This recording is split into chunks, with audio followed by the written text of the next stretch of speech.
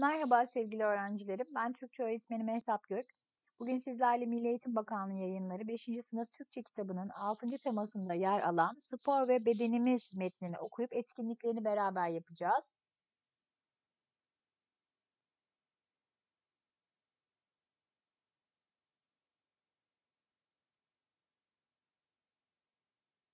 Hazırlık çalışmaları sorularımızla başlıyoruz yine. Sağlık ve varlıktan sağlık varlıktan yedir atasözünü kısaca açıklayınız. Bu dünyada en önemli şey sağlıktır. Çünkü bir kez gitti mi elden geriye neyimiz varsa ortaya koysanız bile bir daha onu geri getiremezsiniz. İnsanlar hep para kazanmak için sağlıklarını ortaya koyarlar ama ne zaman ki sağlıklarını kaybederler bu sefer de sağlıklarını kazanmak için bütün paralarını ortaya koyarlar. Yine de sağlıklarına kavuşamazlar. Bu yüzden sağlık bütün varlıklardan daha iyidir diyebiliriz.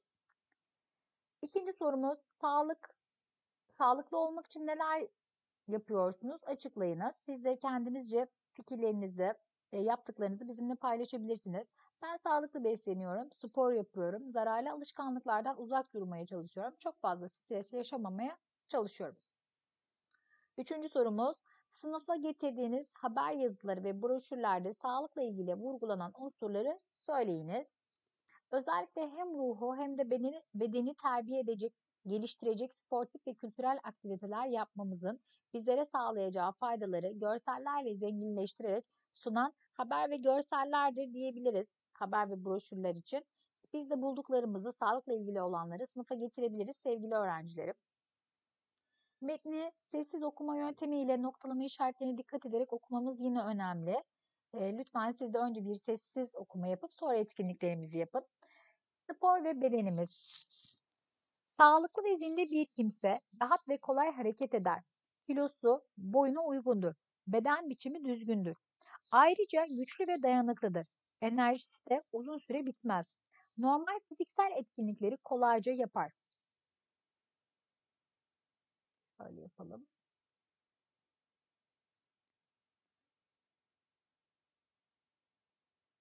Yaşamın pek çok alanında kendine güveni ve saygısı yüksek olur. Tüm bunlar fiziksel olarak hareketli yaşam süren, spor yapan insanların tipik özellikleridir. Ağır bir bavulu taşımak, sıkı kapanmış bir kavanozu açmak, beş katlı merdivenden çıkmak gerçekleştirilmesi çok güç işlerdir. Çünkü onların eklemleri daha esnek, kasları ve kalp dolaşım sistemleri daha güçlüdür. Spor yapmanın yararları yaşamın hemen her alanında görülür. Fiziksel olarak hareketli olan, dengeli beslenen, düzenli uyuyan bir biri sağlıklı olmak için gerekenlere sahiptir. Spor yaptıkça organların işleyişini sağlayan sistemler farklı özellikler kazanır. Kalp damar sistemi gelişir, kasların dayanıklılığı ve gücü artar, eklemler esneklik kazanır. Sonuç olarak tüm beden sağlığı tüm beden sağlığı gelişir. Düzenli yapılan spor sağlıklı bir yaşam biçimini oluşturan dengeli beslenme benzeri diğer etkenlerle birleşince ileriki ileri yaşlarda ulaşıla, oluşabilecek pek çok hastalığı önleyebilir. Böylece daha uzun ve daha mutlu bir yaşam sağlar. Bilim Çocuk Dergisi. Den alındı sevgili arkadaşlar. Etkinliklerimize başlayalım. Metindeki fikirler, fikirlerden katıldıklarınızı ve katılmadıklarınızı aşağıda verilen bölümlere nedenleriyle yazınız. Sizler de katılıp katılmadığınız kısımları yazabilirsiniz. Katıldığım fikirler sağlıklı, zinde bir kimse rahat ve kolay hareket eder. Ayrıca güçlü ve dayanıklıdır. Katılmadığım fikirler düzenli yapılan spor sağlıklı bir yaşam biçimini oluşturan dengeli beslenme benzeri diğer etkenlerle birleşince ileri yaşlarda oluşabilecek pek çok hastalığı önleyebilir. Nedenlerini söyleyelim. Çünkü sağlıklı ve zinde kimseler çok esnek bir vücuda sahiptirler. Bu da onların rahat hareket etmesini sağlar. Spor yapan, zinde kalan insanlar aynı zamanda güçlü de olurlar. Katılmadığım fikrin nedeni ise çünkü ne yazık ki etrafımıza, sağlığımıza zarar verecek pek çok şey vardır. Biz ne kadar spor yapsak da GDO'lu ürünler vesaire gibi dış etkenler yine de bizi hasta edebilirler. İkinci etkinliğimiz A maddesinde okuduğunuz metinde geçen kelimelerin anlamları verilmiştir. Kelimelerin anlamından hareketle ilk harfi ipucu olarak verilen kelimeleri bulunuz. S harfi verilmiş, açıklaması yapılmış. Sağlığı yerinde olan, sağlık yönünden iyi durumda bulunan, sağlam, esen, sağlık kelimesiyle tamamlıyoruz. Z sesi verilmiş, canlı, diri, sağlam, dinç, zinde kelimesiyle tamamlıyoruz. E sesi verilmiş, insanda ve omurgalı hayvanlarda gövde kemiklerinin uç uca gelerek birleşme, birleştikleri yer eklem diyoruz. B sesi verilmiş, vücudun baş, kol ve bacak dışında kalan bölümü beden kelimesini karşılıyor sevgili öğrencilerim. En son örneğimizde S sesi verilmiş. Belli kurallara ve tekniklere uyularak yapılan bedensel gelişmeye yararlı e, eğlenmek ve yarışmak amacı da bulunan beden hareketlerinin tümünün ortak adı spor olarak e, söyleyebiliyoruz sevgili arkadaşlar. Bu kelimeleri öğrendiğiniz anlamıyla birer cümlede kullanınız şeklinde bir sorumuz var. Ne diyebiliriz? Çok sağlıklıydı çünkü spor yapıyordu. Eklem ağrıları çekiyordu. Zinde olmak için iyi beslenmek gerekir. Bedenimiz bizim evimizdir, iyi bakmamız gerekir şeklinde örnekler sıralayabiliriz. Üçüncü etkinliğimize geldiğimizde okuduğunuz metni kendi cümlelerinizle özetleyiniz. Sporun ne olduğu, insana neler kazandırdığı anlatılmaktadır. Spor, spor yapıldığında vücudumuzda oluşacak olumlu gelişmeler, bu, bu gelişmelerin günlük fiziksel aktivitelerimize olacak olan faydaları ve spor yapan insanların nasıl günlük yaşamlarında daha dinç kalabilecekleri de yine bu metinde bizlere sunulmaktadır.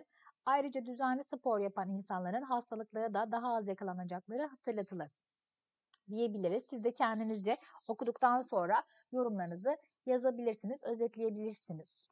Dördüncü etkinliğimiz okuduğunuz metnin konusunu ve ana fikrini aşağıya yazınız. Metnin konusu spor yapan insanların hem daha dinç olmaları hem de hastalıklara daha az yakalanmaları ve sağlığa olan diğer olumlu etkileri diyebiliriz. Ana fikri ise spor yapmanın önemi. Beşinci etkinliğimiz aşağıdaki cümleleri neden sonuç ve amaç sonuç ilişkilerine göre eşleştiriniz. Bir, sık sık spor yapanlar için bunlar gerçekleştirilmesi çok kolay işlerdir. Çünkü onların eklemleri daha esnek, kasları, kalp dolaşım sistemleri daha güçlüdür diyebiliriz. Çünkü ile tamamlayabiliriz. Bedenimiz enerji sağlamak için yediğimiz besinleri yakar. Niçin yakar? Yediğimiz enerji sağlamak için diyebiliriz. Bedenin yaşamsal işlevine sağlıklı bir biçimde devam edebilmesi için belli miktar enerjiye gereksinimi vardır şeklinde tamamlayabiliriz sevgili arkadaşlar. Böylelikle neden sonuç amaç sonuç cümlelerini oluşturabiliriz. Altıncı etkinliğimize geldik. A maddesinde dilimize henüz yerleşmemiş yabancı kelimelerden bazıları aşağıda verilmiştir. Verilen bu yabancı kelimelerin Türkçe karşılıklarını yazınız. Fast food, hazır yemek, body, beden, doping, enerji arttırıcı ilaç, natürel, doğa. Yukarıda verilen kelimelerin Türkçe karşılıklarını kullanarak sağlıkla beslenmenin önemini anlatan bir konuşma yapınız. Konuşmanızda fikirlerinizi destekleyen kaynaklara, sayısal verilere yer veriniz. Sesinizi ve beden dilinizi etkili kullanınız. Sizler de böyle bir konuşma hazırlayabilirsiniz sevgili öğrencilerim. Ben de bir örnek olması adına sizlerle paylaşmak istiyorum. Sağlık için şöyle bir söz vardır değerli dinleyiciler. Can boğazdan gelir, boğazdan gider. Yani sağlıklı olmanın en birinci koşulu yediğimiz içtiğimiz şeylere dikkat etmektir. Bunun için de kaliteli ve organik besinleri tercih etmeliyiz. Bazı sporcular başarı için dopingli ilaçlar kullanıyor. Oysa bunlar büyük zarar vermekte ya da siz hiç fast food ile beslenen sporcu gördünüz mü? Elbette hayır. Çünkü fast food spor yapanlar için bir tehlikedir.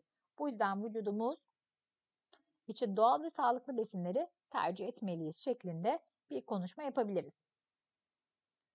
Yedinci etkinliğimize geldiğimizde A maddesinde aşağıdaki paragrafı, paragrafı kırmızı yazılan kelimeleri dikkat ederek okuyunuz.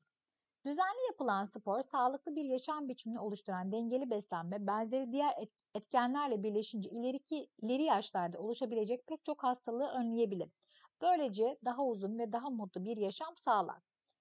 Bu kelimeler niçin kırmızı renkle yazılmış olabilir açıklayınız. Spor, dengeli beslenme, önleyebilir, uzun, mutlu yaşam dediğimizde. Çünkü bu kelimelere vurgu yapılmak istenmektedir. Böylece okura bu kelimeler üzerinde anlatılmak, verilmek istenen mesajın daha etkili bir şekilde sunulduğunu söyleyebiliriz sevgili arkadaşlar. 8. etkinliğimize geldiğimizde aşağıdaki kelimeleri inceleyiniz. Dolapa demeyiz, dolaba deriz. Kelimemiz P sesiyle bitmiş. Ünlü bir harf geldiğinde P sesi ne yapmış? B sesine dönüşmüş yani yumuşamış. Ataçı demeyiz arkadaşlar. Yine Ç sesiyle bitmiş ünlü bir harf gelince Ç sesi C sesine dönüşmüş. Atacı. Etecek demeyiz. Ne yapmış? Edecek şeklinde yumuşatmış sesimizi. Bardakı demeyiz. Bardağı deriz. Yine K sesine yumuşatmış. Biz buna ünsüz yumuşaması diyorduk ses bilgisinde hatırlarsanız. A maddesine bakalım. Yukarıdaki kelimeler hangi ünsüzlerle bitmiştir? P, Ç, T, K sert ünsüzleriyle bitmiştir. Bu kelimeleri getirilen, getirilen ekler ünlü ile mi, ünsüz ile mi başlamaktadır? Ünlü harflerle başlıyor sevgili arkadaşlar. A, I, E, I şeklinde. C maddesine baktığımızda bu kelimeler ek aldığında kelimenin sonundaki sesler nasıl bir değişikliğe uğramıştır? Sonu sert ünsüzle biten kelimeler ünlü ile başlayan ek aldıklarında bu örneklerde görüldüğü gibi yumuşayarak B, C, D, G seslerine dönüşürler. Yani ünsüz yumuşaması ses olayı meydana gelir. Biraz önce de bahsettiğimiz gibi. Dokuzuncu etkinliğimizdeyiz. Aşağıdaki cümlelerde ünsüz yumuşamasına uğrayan kelimeleri işaretleyiniz. Tek tek bakalım cümlelerimize. Tüm beden sağlığı gelişir. Sağlık kelimesi sağlıkı demem. Ne yaparım? Kelimemiz K ile biter. I ile başlayan bir ek aldığı için G'ye dönüşür. İleri yaşlarda oluşabilecek pek çok hastalığı önler. Hastalık demem, yine hastalığı derim. Spor yapmak bu yağların parçalanmasına yardım eder. Et, er demem, eder derim. Yine T sesiyle gerçekte bitiyor. Ama ünlüyle başlayan bir ek aldığı için yumuşuyor. Bedenimiz depoladığı yağları spor sırasında yakıt olarak kullanır. Depoladıkı demem yine depoladığı şeklinde yumuşamaya uğratırım. Eyvah beni yumuşatacak çünkü ben ünlülerle başlıyorum şeklinde bir görselde bizimle paylaşmış oldu. E maddesine bakalım. Siz de ünsüz, yumuş, ünsüz yumuşamasına uğrayan kelimelerin olduğu cümleler kurunuz. Kedi köpekten korkup ağaca çıktı. Ağaça çıktı demem değil mi? Ağaç kelimesi Ç sesiyle bitiyor. Ünlüyle başlayan bir ek aldığında C sesine dönüşüyor bakın. Taşa takılıp düşünün, düşünce bileği burkuldu. Bilek kelimesi K sesiyle bitiyor arkadaşlar.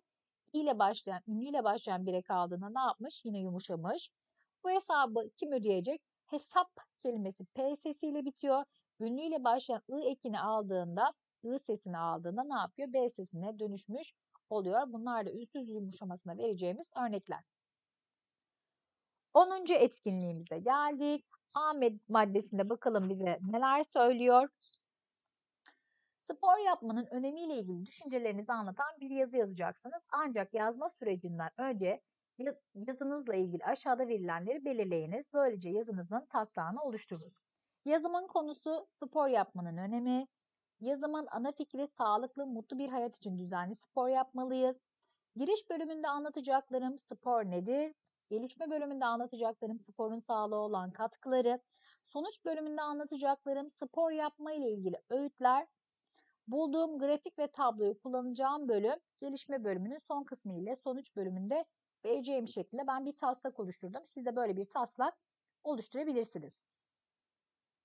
B maddesine bakalım. Taslağınızdan yola çıkarak duygu ve düşüncelerinizi yazınız.